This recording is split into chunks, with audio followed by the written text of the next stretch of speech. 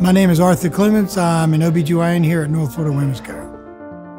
All of the partners at North Florida Women's Care can provide hormone replacement therapy. As your patients age with you, their problems are totally different than they were issues in their 20s, 30s, and 40s. The women that are currently now 45 to 55 are going to be projected to live at 100. So we're, we're looking at about a 45 to 50 year period of zero hormones in your body.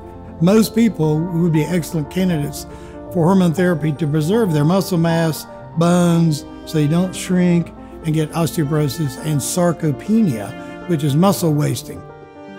So if you can't undo a jar of mayonnaise or peanut butter and you're 75 years of age, you're certainly not going to be able to brace yourself when you fall or stumble in your kitchen. Then you're going to break your shoulder and fall on the ground and break your hip. So you got the muscle loss and you got the bone loss, which is very responsive to estrogen therapy and testosterone therapy.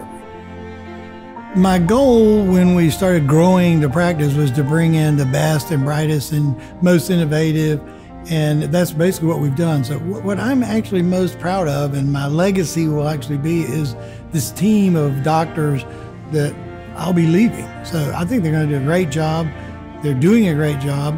It's very unusual in a town this size. In fact, it doesn't exist anywhere in Florida to have this many doctors under one roof. So we, we're able to be very cohesive and work together as a giant team. So, here at North Florida Women's Care, we believe that all women deserve the best care and also the best technology that's available for them to receive that care. And we are happy to be able to provide that to the women in these five counties that we serve.